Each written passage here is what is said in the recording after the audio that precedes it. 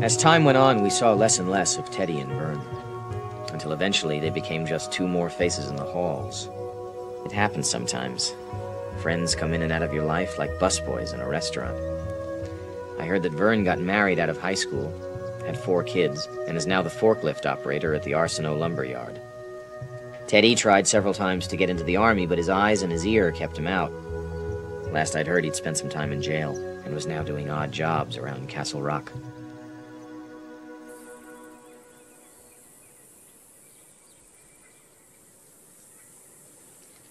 I'm never gonna get out of this town, am I, Gordie?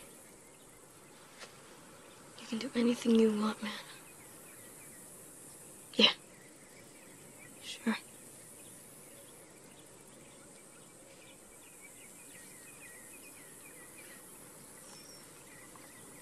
Give me some skin.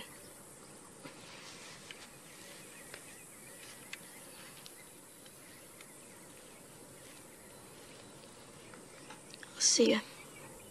If I see you first.